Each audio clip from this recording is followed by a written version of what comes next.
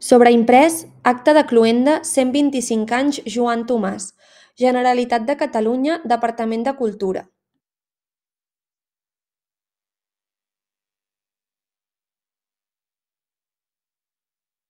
Es reprodueix un vídeo amb imatges de la vida de Joan Tomàs en blanc i negre.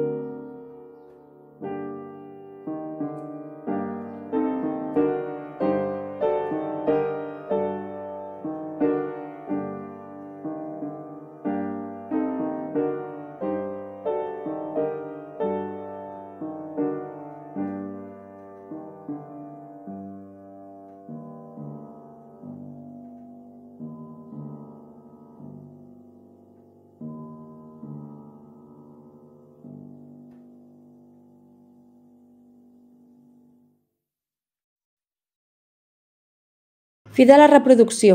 Apareix dalt de l'escenari una dona vestida de negre amb ulleres, a les mans duu un micròfon i una tauleta electrònica.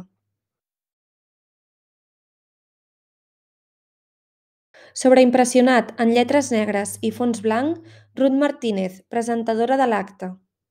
Moltes gràcies per acompanyar-nos en aquest vespre de record i homenatge a la persona i al llegat del mestre Joan Tomàs, jo sóc la Ruth, si m'ho permeteu, us aniré conduint a través de les diverses parts que configuren aquest acte de cluenda de l'any Tomàs.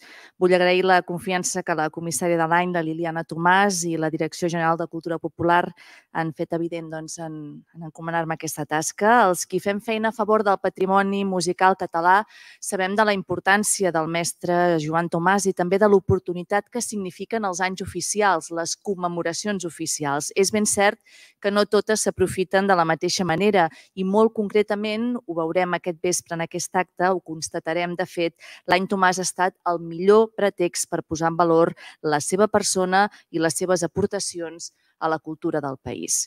Sense més preàmbuls, donem pas als parlaments de benvinguda. En primer lloc té la paraula la comissària i neta del mestre Tomàs, Liliana Tomàs i Roc, i a continuació escoltarem la directora general de Cultura Popular i Associacionisme Cultural, Adelaida Moya, si us plau. Surt de l'escena i entren dues dones que s'asseuen al voltant d'una taula rodona. Hi ha dos micròfons damunt la taula. Sobreimpressionat en lletres negres i fons blanc, Liliana Tomàs, comissària Any Tomàs. Bona tarda, autoritats, amics, família, tots els presents aquí i els que ens seguiu per streaming. Gràcies per fer avui possible aquest acte. Gràcies al Departament de Cultura i la Direcció General de Cultura Popular i Associacionisme Cultural per haver fet possible tota la commemoració. I gràcies al CAT per acollir-nos una altra vegada. Ha estat un any fecund, molt participatiu. Heu estat moltes les persones que heu col·laborat a fer realitat aquesta celebració, ja sigui programant activitats, produint-les, assistint-hi, participant, fent-ne difusió. hem recuperat de l'oblit la persona i figura de Joan Tomàs i Parés. L'hem donat a conèixer. I molt especialment hem descobert i mostrat el llegat que ens va deixar oferint-ne diferents possibilitats d'usos que permet. I hem aconseguit fer-ne molts actes, tots importants, pel seu abast concret i cadascun diferent.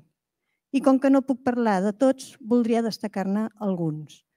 L'exposició Músic de tot cor, que d'alguna manera ha estat com una guia de tota la commemoració, ja que no ha anat ni un sol dia al magatzem, ha anat voltant, igual que el mestre Tomàs, que anava viatjant pels pobles, l'exposició virtual al portal del CEDOC, Joan Tomàs, una vida a l'Orfeo català, ja que resumeix aquesta faceta tan important de la seva tasca de mestre i director en aquesta institució.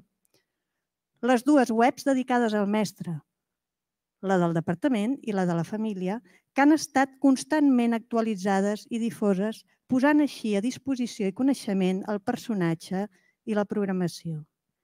El programa radiofònic Festa Festa, amb la secció periòdica de 32 capítols dedicats al mestre, així com el canal de YouTube que ha estat viu i actiu. Vull agrair també les revistes que heu publicat articles i els mitjans de comunicació que heu realitzat entrevistes i editat espais d'informació. Heu sigut molts i molt importants. Estic molt satisfeta també de les publicacions que s'han fet i que s'estan gestant ara. Ha estat molt interessant per mi adaptar les conferències a cada lloc en concret, investigant els reculls, els cantaires, buscant la vinculació en aquell poble. M'ha permès descobrir anècdotes, conèixer familiars de cantaires, retrobar instruments retratats pel propi Joan Tomàs i anar personalment a trepitjar cases en les que ell va estar recollint cançons. Ha estat emocionant, fascinant. A Sant Julià de Cerdanyola, gràcies a l'Ajuntament i a la Bergadana de Folklore Total, hem posat una placa en homenatge a Josep Casals Cirera, l'hereu Mill, que li va cantar 218 melodies. També valoro molt la implicació en aquest projecte d'escoles de música, com la de Balaguer, la de Sant Jaume dels Domenys, la de Vilanova i la Geltrú, Terrassa, Alcover i altres, i instituts, com l'Institut Les Corts de Barcelona, que han, fet, han vist el potencial pedagògic que té treballar Joan Tomàs i el seu fons. I els tallers de cançons, a Mataró, Esplugues, que permeten que ens tornem a fer nostres les cançons dels nostres avis i ens ensenya, que ens ensenyen molts valors i costums de la nostra cultura. En definitiva, hem obert i alhora sembrat el camí per incloure i integrar Joan Tomàs i Parés i el seu llegat en la nostra història i en la nostra activitat cultural actual. No tinc temps per nomenar una a una les entitats que us heu adherit en aquest projecte, les podeu consultar al web. Ajuntaments, associacions, biblioteques, auditoris, conservatoris, corals, cobles, esbars, músics, museus, festivals, fires, però sobretot les persones que esteu al capdavant d'aquestes entitats. A tots, gràcies. Gràcies als que m'heu escrit excusant-vos que avui no podíeu ser aquí, donant tot el vostre suport.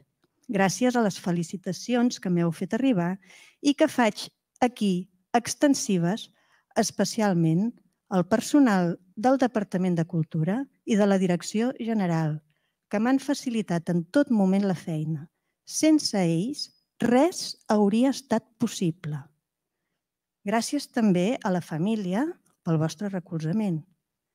I permeteu-me també que doni les gràcies a l'estimat amic Josep Massot i Montaner, el, el seu acompanyament i suport al llarg d'aquests últims tres anys ha estat per mi molt important.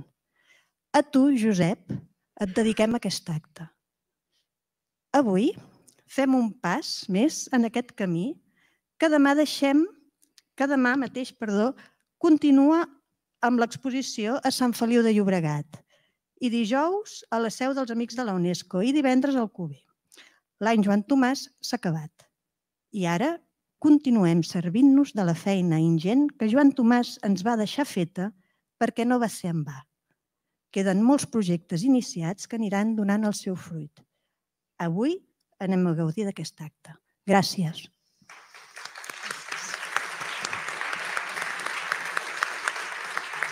Sobreimpressionat en lletres negres i fons blanc, Adelaida Moya, directora general de Cultura Popular i Associacionisme Cultural. Moltes gràcies, Liliana. Bon vespre a tothom, eh, benvingudes i benvinguts a aquest acte de cluenda de l'any Joan Tomàs. D'entrada, una salutació molt especial a tots els familiars que ens acompanyen i especialment, evidentment, a la comissària de l'any, la Liliana, i un agraïment especial també al CAT per acollir-nos avui. El dia 5 de març del 1921 es va inaugurar en aquest mateix espai l'any Joan Tomàs i Parés, la commemoració del Departament de Cultura pel 125è aniversari del seu naixement era una mostra de reconeixement a la importància del seu llegat i el seu compromís amb la música, la cultura i també el món associatiu del nostre país. Al llarg d'aquest any 2021 i d'aquests mesos del, del 22 s'han fet una quantitat ingent d'actes. Ara la Liliana deia també que no teníem pas temps d'enumerar-los tots. 18 presentacions, 42 concerts i actuacions amb danses, 14 conferències, una itinerància a 17 poblacions de l'exposició Músic de, de tot cor, que continuarà itinerant, 5 taules rodones, i algunes publicacions també, com el llibre Cançons de Nadal de Joan Tomàs. Totes aquestes activitats han fet, han fet incís en les moltes facetes de l'homenatjat, en l'artística, en la creativa, en l'etnomusicològica, la pedagògica, la social i també en el seu tarannà humanitari. Una de les més remarcables i que ha deixat més empremta és la seva participació com a col·lector de cançons a l'obra del Cançoner Popular de Catalunya, de la qual enguany commemorarem el centenari. La seva passió en aquesta tasca i la creença en la vàlua de la música pròpia del país el va dur a recórrer sol o amb companys com Joan Amades, Lluís Maria Millet o Bartomeu Llongueres, bona part del territori. I justament eh, avui, com us deia la Liliana, que amb tot l'encert del món ha dedicat l'acte en, en el pare Massot, eh, també voldria fer, fer en aquest moment menció no? al, al pare Massot, que ha estat la persona que, que ha conservat i estudiat tota aquesta obra del, del cançoner i, i amb el qual comptàvem, evidentment, per celebrar aquesta commemoració del, dels 100 anys i, i que, evidentment, és una, és una pèrdua irreparable pel país, una persona a la qual la cultura eh, catalana, la cultura d'aquest país, li deu moltíssim. Continuem parlant de, de Joan Tomàs. Com a músic, eh, ell abraçava diverses facetes, compositor, harmonitzador, creador d'entitats eh, musicals, com ara la que ens acull. Probablement, si la, la moguéssim en el temps, no? doncs Joan Tomàs podia haver estat uh, per aquí. Uh, altres uh, facetes uh, instrumentals, corals, director de cors, cantaire, mestre de música. Tota una vida dedicada a la música i a fer-ne gaudir a la gent. Molta de la seva activitat va estar relacionada amb l'Orfeo català i amb altres entitats del món associatiu, com esbars, associacions excursionistes. En tot cas, Uh, si, si teniu ganes de saber-ne més, encara podeu trobar tota la informació al web de l'any Tomàs de la Direcció General de Cultura Popular. Esperem que amb aquesta commemoració uh, l'any Tomàs hagi contribuït a donar a conèixer la figura de Joan Tomàs i a situar la importància que ell i altres persones com ell va, van fer la seva feina, no? la feina que van fer per la recuperació de la cultura popular i també per la consolidació d'aquestes estructures associatives culturals que són pilars, són la cultura de base d'aquest país. Finalment, un agraïment a, a totes les entitats i associacions que s'han sumat a la commemoració de l'any, ja sigui a través de l'organització d'actes propis o sumant-se als que ja s'estaven realitzant o bé adherint-se a través de les seves activitats habituals. A tots ells, moltíssimes gràcies per impulsar la cultura popular i l'associacionisme, especialment en aquests darrers temps tan complicats que, que ens ha tocat viure. I de nou, eh, no voldria acabar sense fer un, un agraïment molt especial a, a la comissària, a tota, a tota la dedicació que, que, has, que has posat, a totes les hores i tota la feina que has posat en, en, en la celebració d'aquest any i, evidentment, també a tot l'equip que ha col·laborat a fer possible aquest any commemoratiu. Moltíssimes gràcies.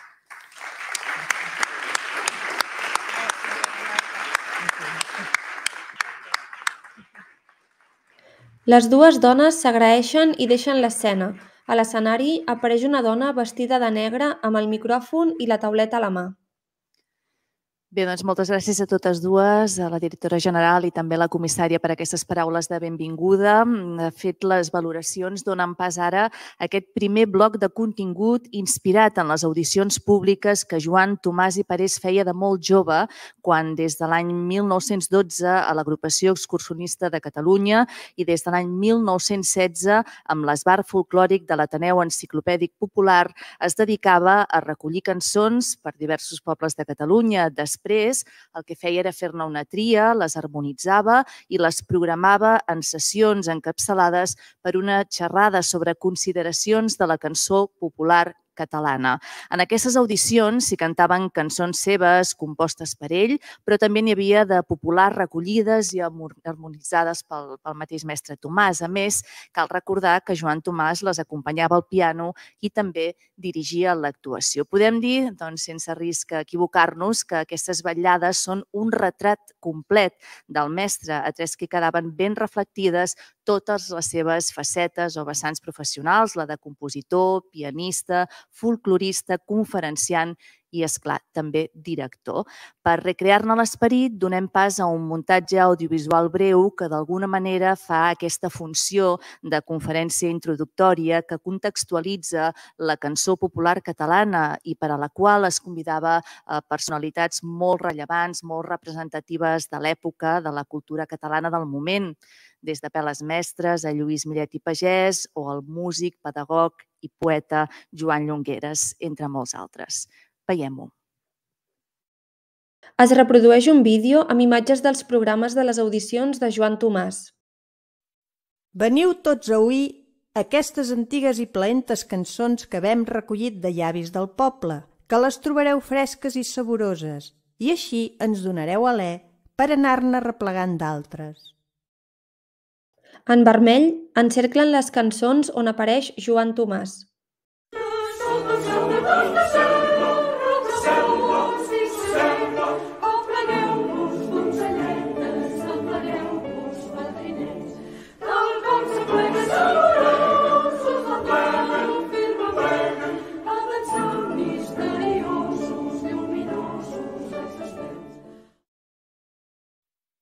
Miracle de la cançó popular.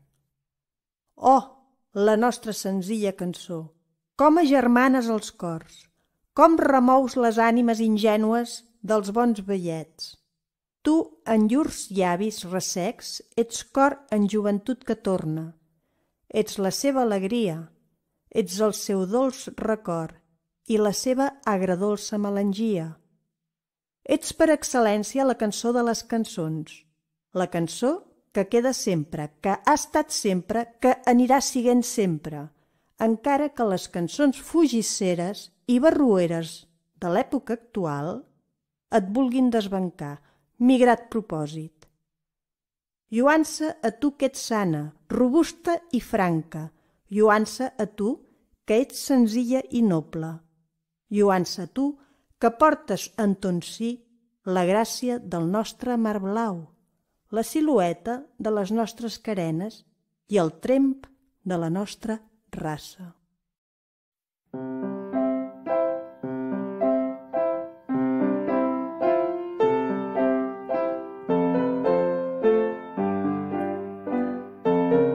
Es veu una imatge d'una partitura escrita a mà de la cançó La vida del pobre i posteriorment publicada.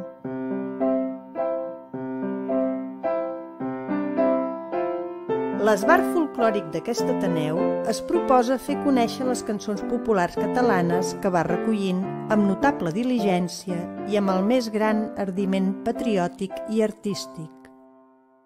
Vingudes de tots els indrets de la terra catalana, les cançons populars són encara un tresor mig ocult. Són humils, però tantó se les empeny un xic i es mostren tal com són, amb tota la seva potència, prenen aleshores una força impetuosa que les fa semblar unes altres. Devem avui esmentar el nostre amic en Joan Tomàs i Parés, qui és particularment designat per a tractar artísticament la nostra cançó.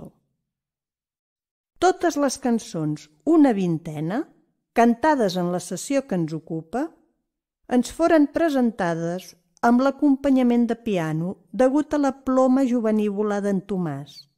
És ben lloable l'afany del compositor de compenetrar-se amb la cançó i de complementar-la amb els recursos del ritme i de l'harmonia moderns.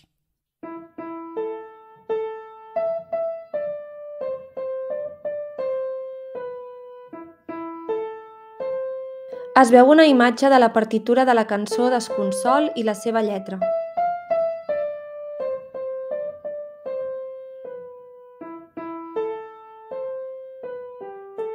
Amb les nostres cançons, tothom sembla retrobar-se a si mateix. La nostra cançó popular és un reflex del veritable significat de la nostra terra i història, del nostre sentir, de la nostra identitat és la veu humil i fresca del poble. És un retorn a l'ànima viva de cadascú. Sobreimprès damunt un cartell de l'esbart folclòric apareix la biografia consultada per fer aquest vídeo recull.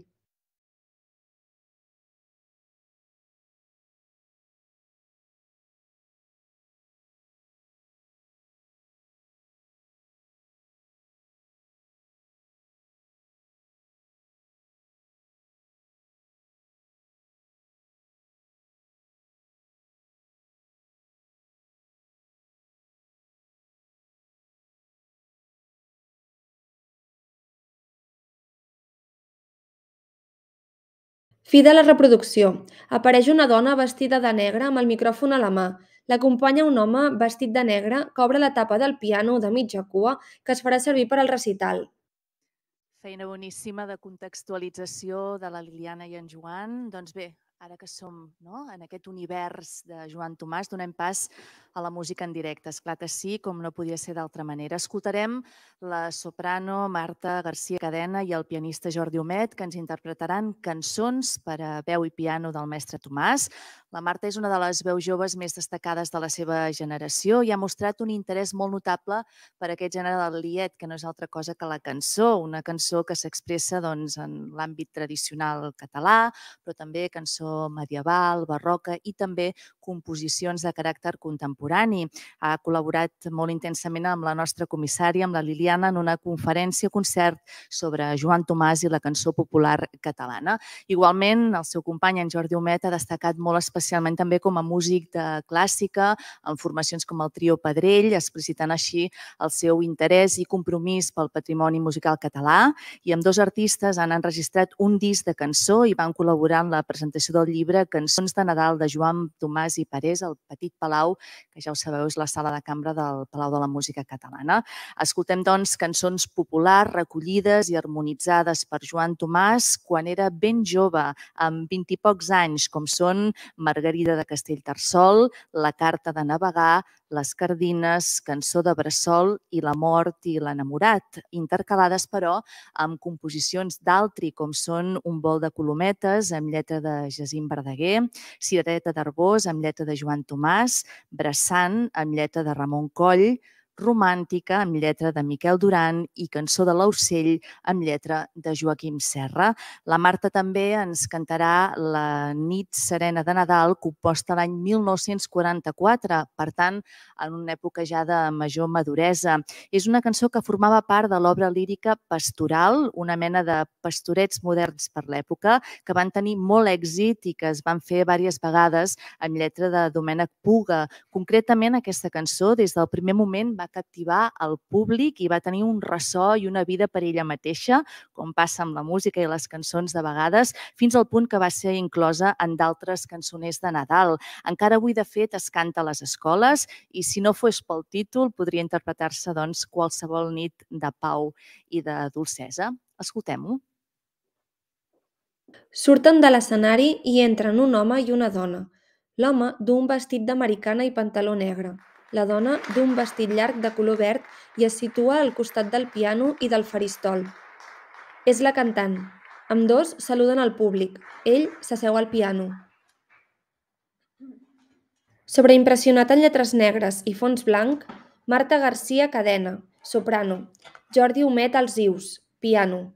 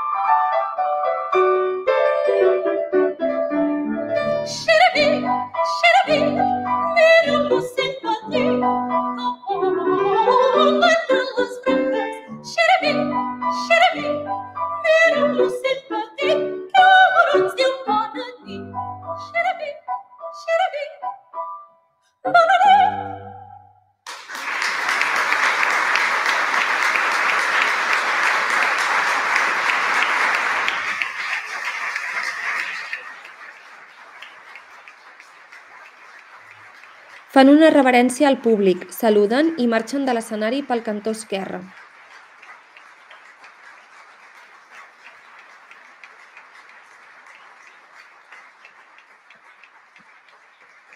Entren la presentadora i el tècnic per l'esquerra. Ell tanca la tapa del piano de mitja cua. Ella se situa al centre de l'escenari i parla. Eren Marta García Cadena i Jordi Homet evidenciant el bon nivell dels nostres joves eh, intèrprets, també els que fan atenció a la cambra, que és aquesta música de format petit però extraordinària i també, doncs, en aquest cas, recuperant patrimoni musical català. Uh, retornem a l'època del mestre Tomàs perquè les audicions tenien tres parts llavors i en algun moment o fins i tot en més d'un, i cantava un cor o hi actuava amb cançons dansades, amb gestos segons el mètode d'expressió rítmica i plàstica de Jacques Dalcroze, que tant van promoure i implementar Joan Llongueres i, naturalment, el propi Joan Tomàs. Habitualment actuava el cor infantil mossèn Cinto, atès que va ser el primer cor que Tomàs va dirigir des de l'any 1915, amb només 19 anys, i l'any 21 ja es va convertir en l'Orfeó Fundació mossèn Cinto. El que escoltarem avui, aquest vespre, és ni més ni menys que l'Escolania de Montserrat, que el passat 15 de febrer, a l'ofici de vespres, va cantar els goig a Nostra Senyora de Montserrat del mestre Joan Tomàs amb lletra de Jacint Verdaguer, col·laborant d'aquesta manera en els actes commemoratius de l'any oficial. En recuperem el vídeo realitzat pels mateixos serveis de comunicació de l'abadia i, com molt bé deien, doncs, eh, tant la directora general com també la comissària, és un record més a la figura, al llegat i també la contribució del pare Massot, no només en la preservació de l'obra del cançoner, sinó també específicament en aquesta col·laboració amb l'any Tomàs. Comentava la Liliana al començament de tot, segur que el pare Massot és per aquí encara, doncs a ell també dedicat especialment a aquest vídeo. Es reprodueix un vídeo dels goig de Montserrat cantats per l'Escolania. Sobreimpressionat en lletres blanques, goig a Nostra Senyora de Montserrat. Lletra mossèn Cinto Verdaguer. Música Joan Tomàs i Parés. 15 de febrer de 2022. Ofici de vespres.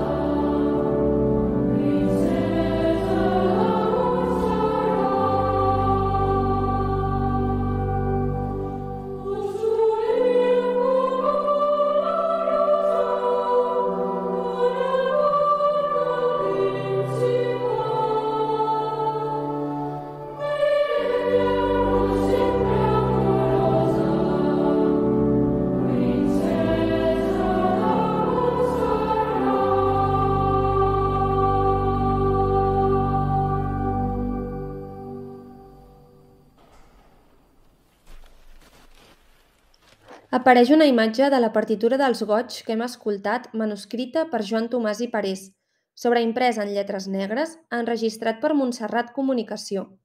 Aportació de l'Abadia de Montserrat a la celebració de l'any Tomàs. Fi de la reproducció.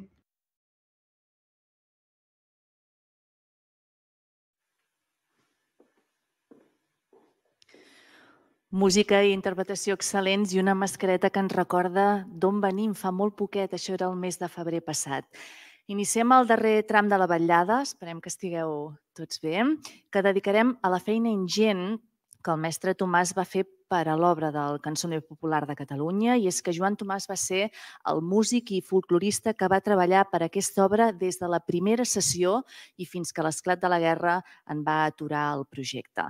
Joan Tomàs va fer ni més ni menys que 23 missions eh, de recerca anant per pobles de parla catalana i recollint, esclar, les melodies d'oïda. Escoltava i transcrivia el llenguatge musical de danses, tocs, tonades, cançons, jocs, fins i tot crits. És molt important el llegat que ens ha deixat i que inclou més de 10.000 melodies recollides, així com també les memòries escrites en els quaderns de camp cartes i altres escrits etnomusicològics sobre els reculls fets. Igualment, valuoses també resulten la immensa quantitat de fotografies que va fer arribar en tots aquests pobles pels quals va passar i també les imatges, les fotografies, els retrats dels cantaires i dels instrumentistes. N'hem preparat una selecció.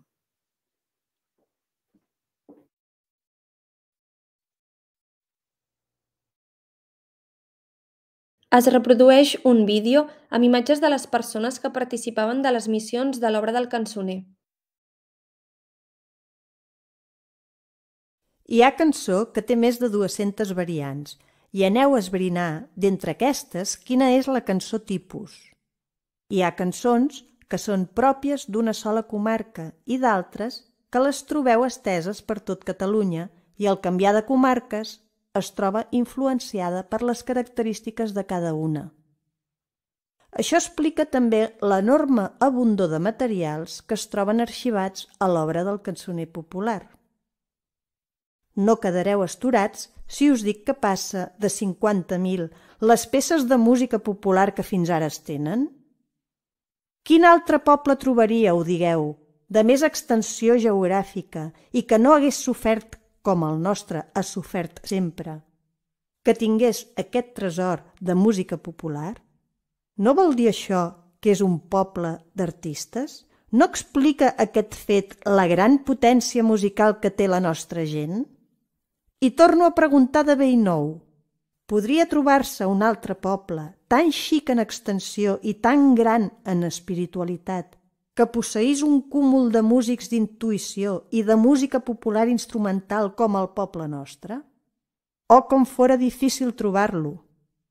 No és això, amics que escolteu, una prova ben palpable de la potència musical del nostre poble?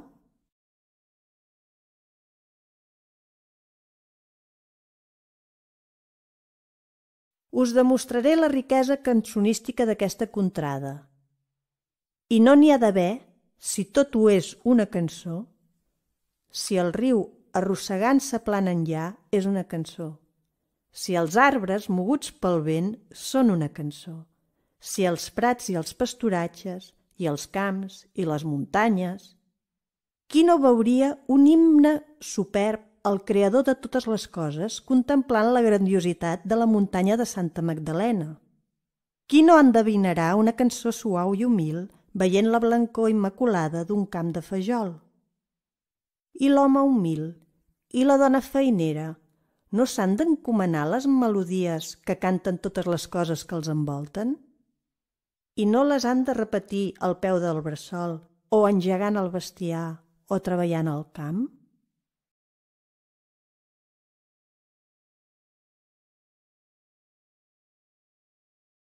Mercès a l'obra del cançoner popular de Catalunya i a la generositat d'un gran patrici, s'ha pogut portar a terme aquesta noble tasca d'anar a recercar el tresor musical de la nostra terra. Tresor que el dia que sigui conegut amb tota la seva integritat, causarà l'admiració dels erudits de tot arreu. És un cas únic en el món, el de la nostra Catalunya, tan petita d'extensió i tan gran d'esperit, és ben bé un poble d'ànima artista.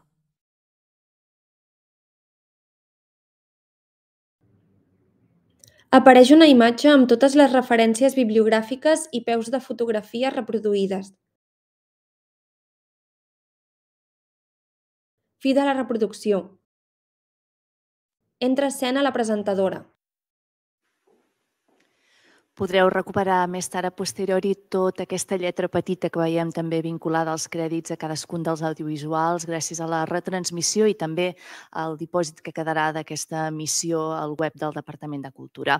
A Joan Tomàs li agradava reproduir aquest mateix esquema d'audicions en les missions de recerca. Si podia, el que feia al vespre en un local del poble en el qual estava recollint cançons, doncs feia actes similars oberts a tots els vilatans, entre els quals hi havia els mateixos cantaires que aquell dia li havien dictat les cançons i que s'emocionaven en escoltar-les de nou, reproduïdes i fins i tot ja harmonitzades al piano pel mestre Tomàs. A més, Tomàs sempre primer introduïa aquests recitals parlant de les cançons populars catalanes.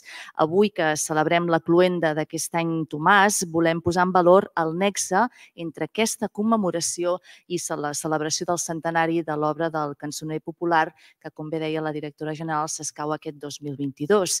Acabem, per tant, amb l'actuació de la tríada Carregades de Romansos, que ens compartiran una mostra del seu extens repertori de cançons recollides per Joan Tomàs i altres eh, col·lectors per a l'obra del cançoner popular.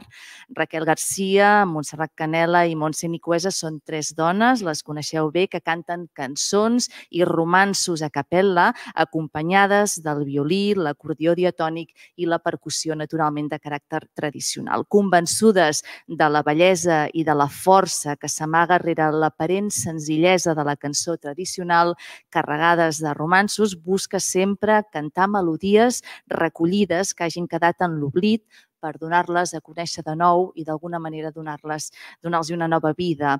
Aquestes cançons eh, les presenten harmonitzades pel mateix grup, respectant sempre la melodia original. Entre les cançons que ens cantaran i que elles mateixes aniran presentant, escoltarem El fals mosso de Forner, que teniu de fet inclosa en el programa demà, que també heu pogut recollir a l'entrada, i que de fet, eh, quan Joan Tomàs va descobrir aquesta cançó, molt emocionat, va escriure el següent següent. És la melodia més exquisida que jo mai he trobat recollint cançons. Quina cosa més fina, quina música més delicada, quina cançó més superbament bella. Jo crec que és una de les cançons més boniques del nostre incomparable cançoner. És ben cert que les cançons velles són les que resten més amagades, són tan humils com les flors buscanes. Escoltem-ho. Surt de l'escenari i entren tres dones, una d'una samarreta de màniga llarga negra i pantalons beix clar i té els cabells rinxolats. L'altra d'una samarreta de màniga llarga negra i pantalons verds i la tercera, la més alta i que està enmig de les altres dues, du samarreta de màniga llarga negra i pantalons granatosos. Busquen un text en el faristol i comencen a parlar sobreimpressionat en lletres negres i fons blanc, carregades de romansos. Raquel Garcia, Montserrat Canela i Montse Nicuesa. Principis del segle XX. Folcloristes, mossens, literats i músics. Viatgen per tot el territori de parla catalana recollint lletra i música de les cançons de tradició oral. Les dones han estat sempre les grans transmissores d'aquestes cançons. Es cantava jugant, es cantava festejant, es cantava celebrant, feinejant, bressolant, lamentant. I gràcies als col·lectors i a les col·lectores d'aquestes cançons i romansos. Com en Joan Tomàs. Avui, un segle més tard, les podem cantar. Som carregades de romansos. Al portal d'Egipte, l'erum, l'erum, qui pogués anar, l'erum, la, amb la Marieta, l'erum, l'erum, garrats de la mà, l'erum, la. Mentre el canti omplia, l'erum, l'erum, un frari passa, l'erum, la. Déu vos guard la niña, l'erum, l'erum, un mes mareda, l'erum, la. Frari, lo bon frari, l'erum, l'erum, ma devem pagar, l'erum, la. Se'n posa mai l'erum, l'erum, se non s'eslinda l'erum, la. La noia és traïdora, l'erum, l'erum, se'n posa a comptar l'erum, la. Frari, lo bon frari, l'erum, l'erum, aquí prou noia, l'erum, la. La muleta roja, l'erum, l'erum, me l'haurà de donar, l'erum, la. Jugarem a córrer l'erum, l'erum, qui més correrà l'erum, la. Vostè per la costa l'erum, l'erum, i jo pel camí pla l'erum, la. Al cap de la costa l'erum, l'erum, el coll se'n trenca l'erum, la. Torna i torna i frari l'erum, l'erum, maratoneja. L'erum, l'erum, l'erum, la.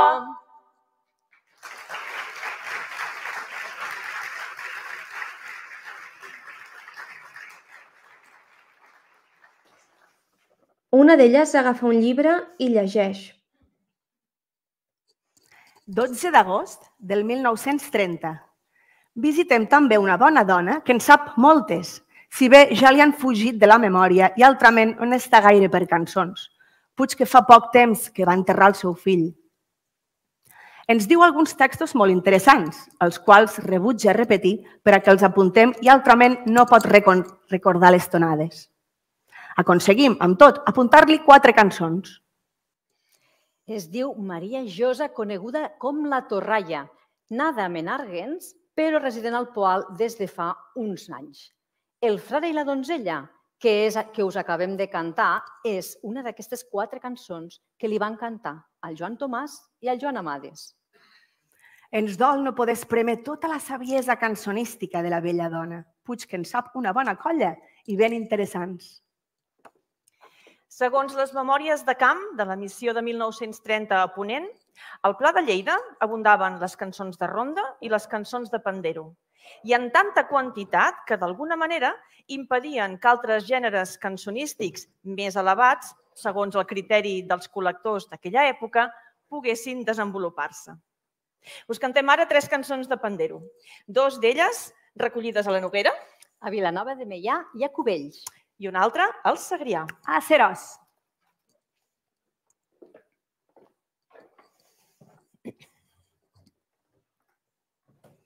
Dues d'elles agafen panderos quadrats. De negrillo va vestit, lo parroquia taula està. De negrillo va vestit, dichos que el despullarà. Una cançó vull cantar del fadrí i la fadrina, que l'ha portat a les fonts i l'han de moreria. De negrillo va vestit, la parròquia a taula està. De negrillo va vestit, ditxos que el despullarà.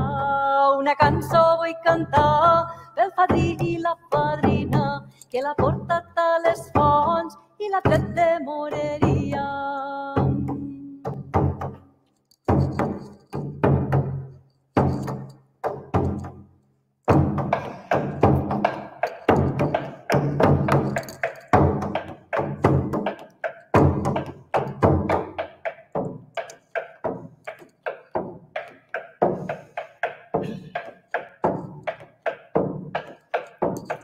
Éreu sou de rica casa i éreu sou de ric castell. Val més la vostra dictada que lo palacio del rei.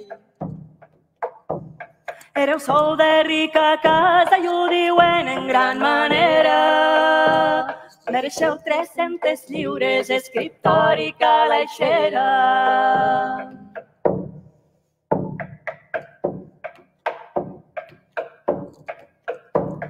calaixera. Éreu sou de rica casa i éreu sou de ric castell. Val més la vostra dictada que lo palacio del rei. Éreu sou de rica casa i ho diuen en gran manera. Mereixeu 300 lliures, escriptor i calaixera.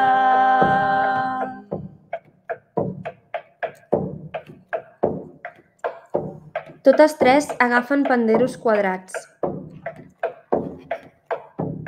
Joveneta, l'heu casada a la floreta del temps. Pareix la clavellinera quan volen brotar els clavells. Joveneta, l'heu casada, color de rosa encarnada, color de rosa encarnada a la floreta del temps. Pareix la clavellinera quan volen brotar els clavells.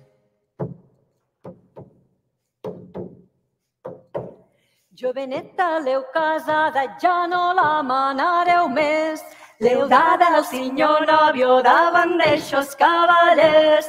Joveneta, l'heu casada, color de rosa encarnada, color de rosa encarnada, ja no la manareu més. L'heu dada, senyor nòvio, davant d'estos cavallers. L'heu dada, senyor nòvio, davant d'estos cavallers.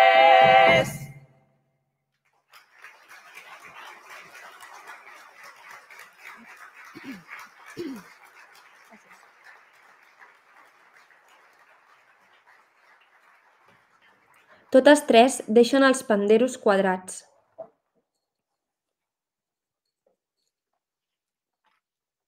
Sobre la cançó que us cantarem ara, El fals mosso de Forner, aquesta que teniu al programa, doncs existeix molta informació, molts apunts que va deixar en Joan Tomàs.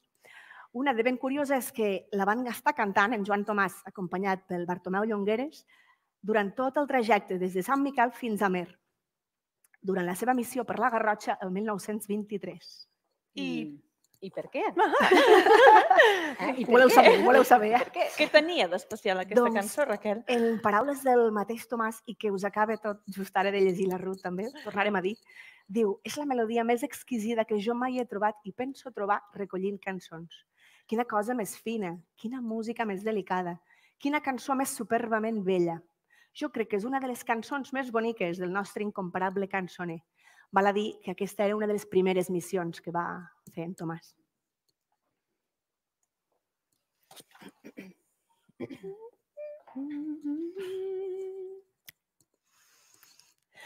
Matinet me llevo antes del jorn, antes del jorn, i a la porta de la mia donic un tom, donic. Per aquí no hi són les meves amoretes, sempre les aigua d'allí d'on són. Ai, amor, baixeu a obrir, que som tots sol, que som tots sol. Com ne baixaria jo, que allí ne som, que allí ne som. Per aquí no hi són les meves amoretes, sempre les aimo d'allí d'on són. Doncs adeu-siau, amor, jo ja me'n torn, jo ja me'n torn, que les portes del castell ja obertes són, ja obertes són. Per aquí no hi són les meves amoretes, sempre les aimo d'allí d'on són. Espereu, seu xic amor, vestida som, vestida som. El seu pare és al llit, que això s'escol, que això s'escol. Per aquí no hi són les meves amoretes, sempre les aigua d'allí d'on són. I amb qui en raones, fill, amb qui en raons, amb qui en raons, Amb quins raons?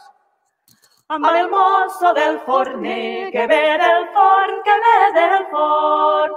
Per aquí no hi són les meves amoretes, sempre les aimo d'allí d'on són. Que ara jo li preguntava i el pas si es cou, i el pas si es cou. Mira mens pel coll ma filla, que és en Ramon, que és en Ramon. Per aquí no hi són les meves amoretes, sempre les aimo d'allí d'on són.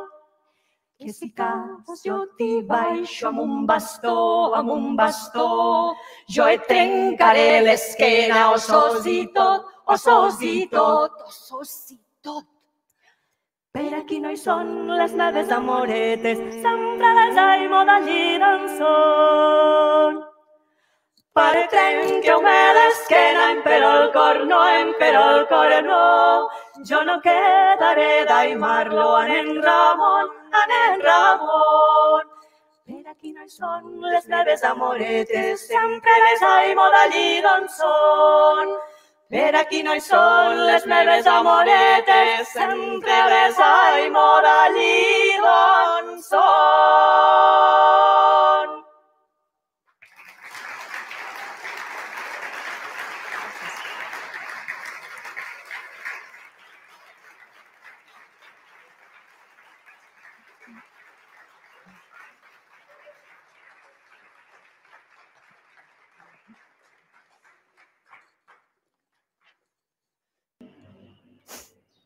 Es col·loquen dalt de l'escenari fent un semicercle entre les tres, Es miren amb complicitat i comencen a cantar. Son, son, vine, vine, son, son, vine, vine, son. Son, son, vine, vine, son, son, vine, vine, son.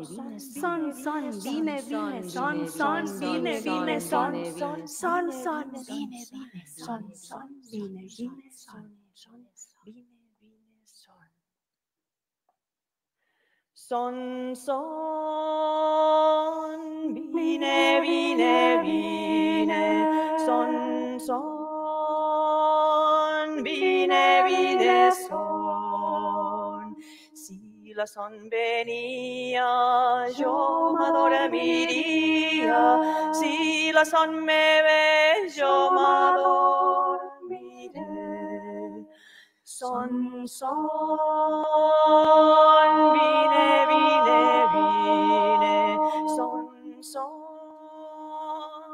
vine, vine, son. Si la son venia, jo m'adormiria, si la son me ve, jo m'adormiré. Son, son, vine, vine, vine, son, son,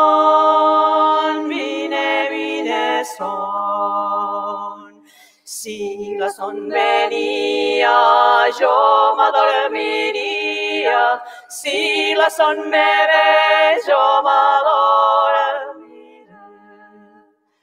Son, son, vine, vine, vine, son, son, vine, vine, son. Si la son venia, jo m'adormiria, si la son me ve, jo m'adormiré. Si la son me ve, jo m'adormiré. Si la son me ve, jo m'adormiré. Si la son me ve, jo m'adormiré.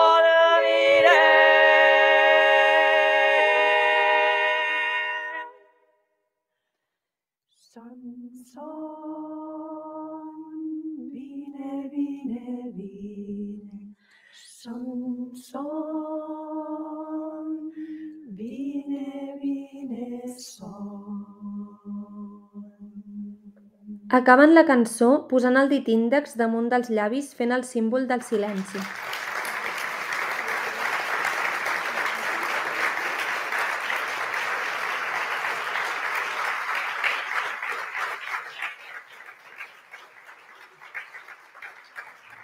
La més alta agafa un llibre i l'obre per llegir. Aquesta cançó de Bressol va ser recollida a l'agost de 1929 a Pons, a la Noguera, de la veu de la Teresa Mitjana, anomenada la Casacona. La missió que Joan Tomàs i Joan Amades van dur a terme per la Ribera del Segre, la Segarra, la Ribera de Sió i la Noguera va durar un mes i mig i van poder recollir mil una cançons. Respecte a aquestes terres, van escriure, entre moltes d'altres coses, Ens ha cridat força atenció la gran confiança amb què hem estat tractats a tot arreu. La gent senzilla ens ha obert les seves cases a discreció, sense conèixer-nos. Hem tret el convenciment més absolut que la clau de l'èxit de la present missió ha consistit en posar un preu a les cançons, puig que en un 90% dels cantaires han cantat per les mires egoistes dels dinerons. Molt bé, i ara canviarem de registre i passem d'aquesta cançó de Bressol a una cançó d'aquestes anomenades eh, picaresques, picantones, per allò cançó verda, verda, verda, a l'obra del cançoner, se'n se'n troba poqueta, eh? Per això dels col·lectors i les col·lectores i els mossens i aquesta autocen- autocensura que a vegades hi havia. Però bé, aquesta cançó és d'aquestes picantones i parla d'una xica de Reus. De Reus. és que ella és de Tarragona. Ai, ai, ai. Ja sabeu, Tarragona i Reus, com a que no. Doncs aquesta xica de Reus volia anar a ballar. I diu, m'arreglaré per anar a ballar, per arreglar tot. Sa mare veia, sí, molt bé, tu arregla't i vés a ballar, però a les 12 aquí a casa. Dic, ai, no, no vindré pas perquè vaig molt ben acompanyada. M'acompanyen no un, dos. I no eren joven, ai, no eren grans, eren jovenets, perquè era de Reus, però era tonta, eh? Així que ho deixo aquí, vosaltres escolteu la cançó i veureu què li passa a aquesta xica que anava tan ben acompanyada. Una minyona de Reus, filla de molt bona casa, per anar-se'n a ballar, se'n posa molt pimpollada, oleia.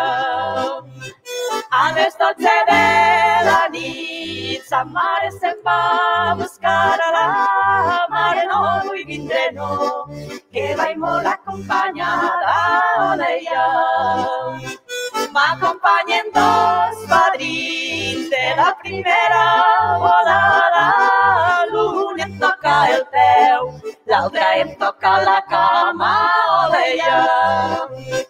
Lo petit com atrevit, passa de la lliga cama, la mare que em dirà, quan me veurà tan mullada, oleia. Saps què li hauré de dir? Que he agafat la rosada, la rosada de la nit i la de la matinada, oleia. Una minyona de Reus, filla de molt bona casa, per anar-se'n a ballar, se'n posa molt pimpollada. Oleia.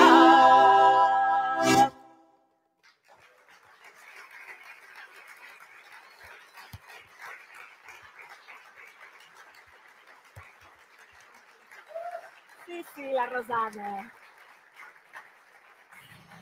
La rosada. És que anava molt ben acompanyada. Ai, les rosades agraden les verdes, eh? Molt ben Però acompanyada. sempre passa això. Sempre passa això. Teresa Miró va cantar aquesta cançó, La Rosada, per l'hora del cançoner. En Joan Tomàs, el juliol de 1932 a Maials, que tothom sap on està. Nenes, està a Maials, està a prop de Barcelona o lluny? Home, jo diria cap a la Panadella. Cap a la Panadella. La Panadella i cap al sud. Al Segrià. Sí. A l'oest, sí. a l'oest de Catalunya, perquè Joan Tomàs hi va anar a l'oest, eh? És lluny, però no és tan lluny, eh, l'oest. I, mm, Montse, com ho fèiem?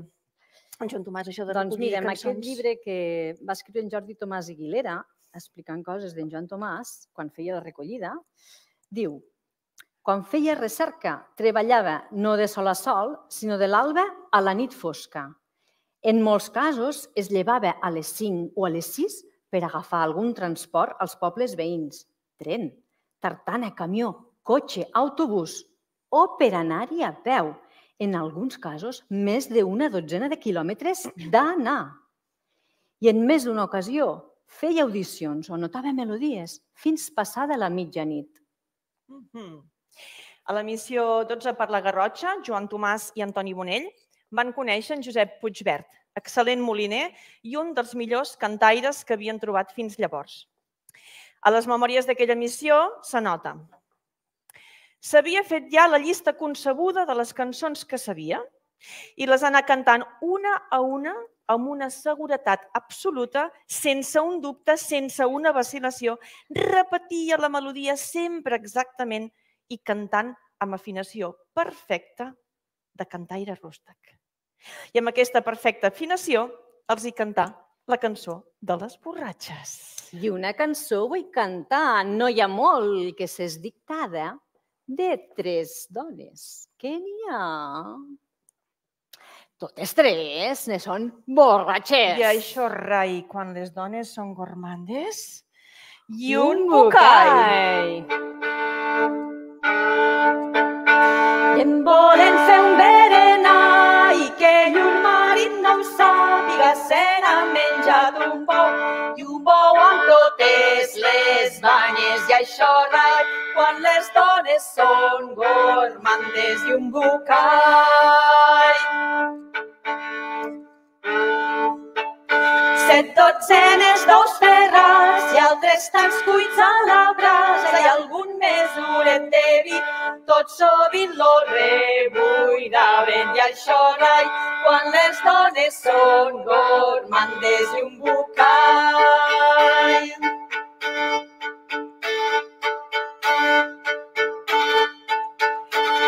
Quan es surten del berenar, totes tres cauen en basca i en van a buscar el doctor i el barber i l'apotecari. I això rai, quan les dones són gormandes i un bucall.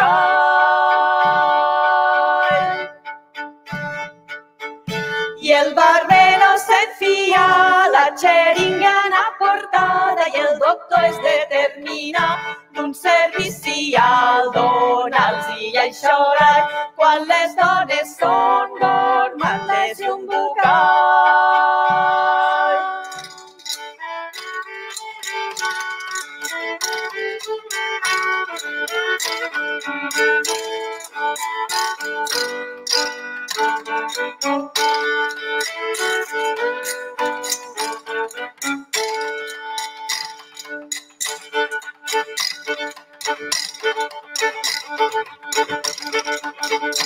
Impunta xeringa al cul, la xeringa rebufava i en fa un petit peterroc que la casa tremolava i el xorall quan les dones són gormandes i un bucall.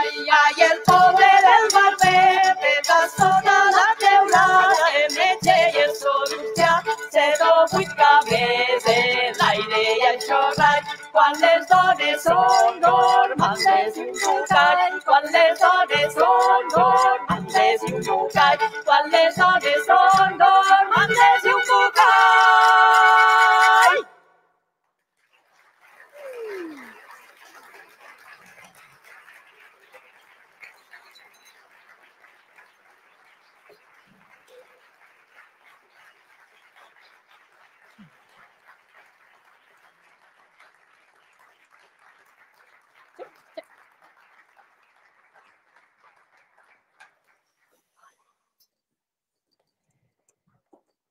Agafen l'acordió i dues panderetes.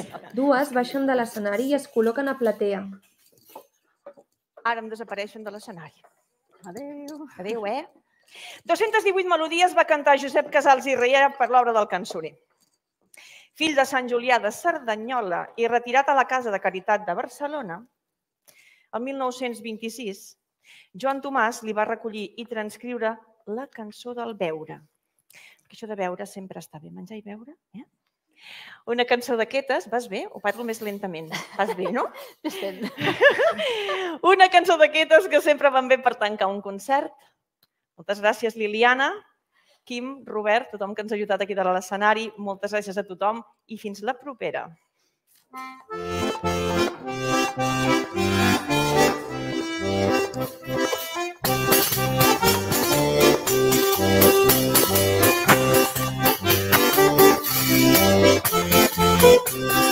Veurem